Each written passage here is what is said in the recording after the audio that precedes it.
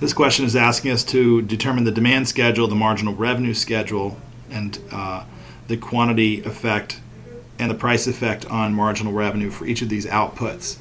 So, first off, we'll start with the demand schedule. If one uh, demand emerald is demanded, people are willing to pay $100. So the price of an emerald for one is 100. It tells us that if we have two emeralds, we'd get $186 in total revenue. That means that each emerald, because we're going to assume they're all the same price, um, that if we sell two, that each emerald is going to cost $93 a piece. If we uh, sell three, we'd bring in $252 in revenue, which means that each of those emeralds would have cost $84 to purchase.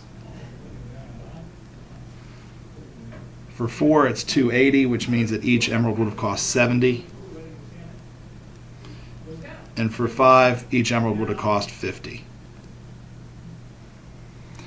The marginal revenue, then we see the change in revenue with the change in output.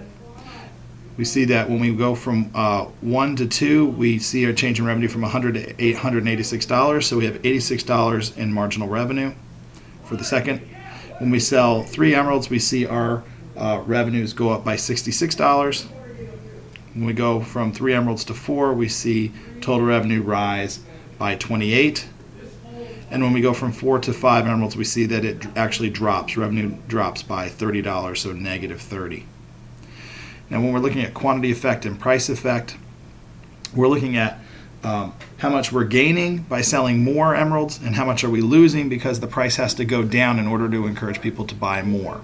So when we go from one emerald to two, we were selling uh, only one emerald at $100 a piece. Now we're selling two at $93. So I'm gaining um, that essentially that second emerald, which I wasn't selling before, I'm selling for $93. So I go plus 93 when I buy this or sell the second emerald.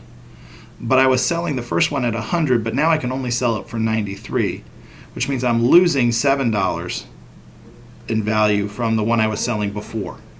Because I can't sell it for 100 anymore. In order to get people to buy two, I have to lower the price.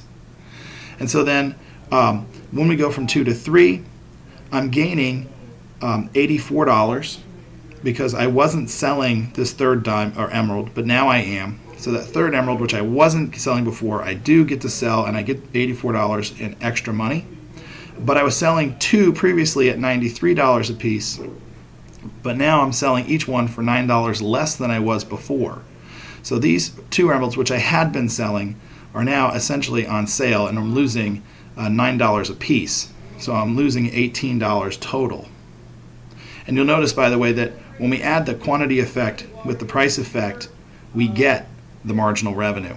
So we go to the fourth one. Uh, I sell the fourth one, which I wasn't selling before, and so I'm getting $70 extra, more than I did before. But I was selling the three previous ones at $84 a piece, and now I'm selling them for 14 less than it was before. So the three emeralds times the $14 less means I'm actually losing uh, $52 in revenue. And when I add these two numbers together, I get the marginal revenue number of 28. And then on this last one, again, the fifth one, I get to sell now for $50. I didn't get to sell it before, so I'm plus 50 in revenue. But the four previous ones I was selling um, at $70, now I have to sell at 50, which means I'm losing $20 per emerald. So I'm losing $80 in revenue. And when I add these two together, I get negative 30, which is the marginal revenue.